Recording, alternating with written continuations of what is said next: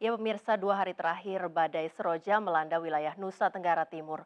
Warga diimbau waspada dan berhati-hati bila ingin bepergian. BMKG memperkirakan siklon tropis seroja masih akan terjadi bergerak dari arah barat menuju barat daya.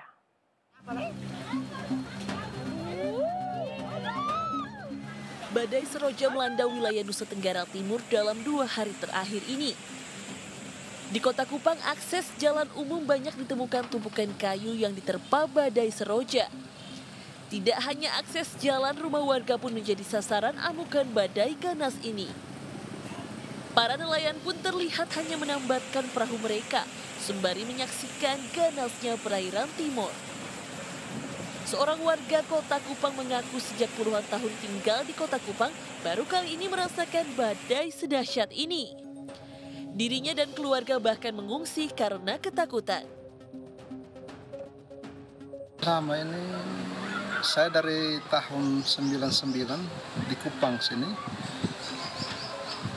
Baru kali ini baru kita bencana yang sebesar ini. Angin dan hujan yang sebesar ini baru kali ini. Memang pernah terjadi beberapa kali tapi tidak terlalu begitu ini. Belum ada data resmi atas kerusakan dari bencana alam ini. BMKG memperkirakan siklon tropis Seroja masih akan terjadi dalam 24 jam ke depan yang bergerak dari arah barat menuju barat daya. Dari Kupang, Nusa Tenggara Timur, tim liputan iNews melaporkan.